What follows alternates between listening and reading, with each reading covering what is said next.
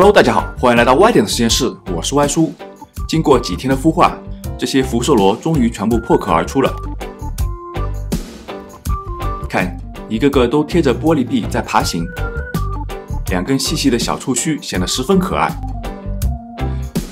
哎，注意看，我发现一个很神奇的现象，这些福寿螺会把身体倒过来，贴着水面游行，好神奇的技能啊！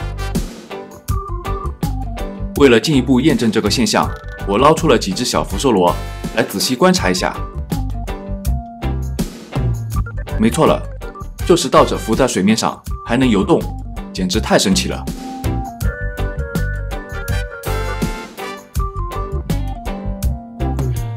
我们把它们放到显微镜下面进一步放大来看看，两根细细的触须，它居然还长了眼睛，不可思议吧？就是不知道它游动的原理是什么，也没有类似桨叶的东西，就靠腹部肌肉的蠕动就能前进。有小伙伴懂这方面的知识吗？什么激波？别逗我了。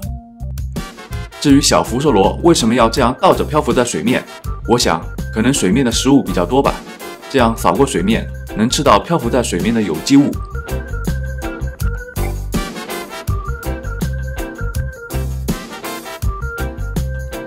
抓一只出来，然后滴上一滴水，看看它会不会从壳中钻出来。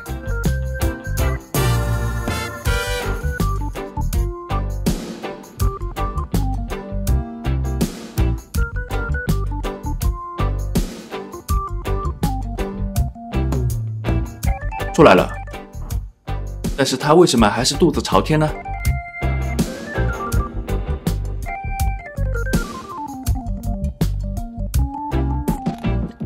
现在是第三天早上，我发现一个很严重的问题，这些小福寿螺都爬到岸上来了，看样子有点凶多吉少啊！玻璃缸周围密密麻麻的全是，它们还活着吗？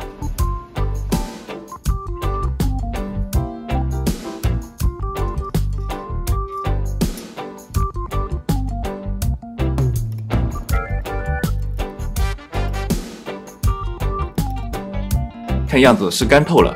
变得嘎嘣脆，那么问题来了，小福寿螺刚孵化出来没几天，为什么会集体自杀呢？你知道吗？欢迎在评论区留言讨论。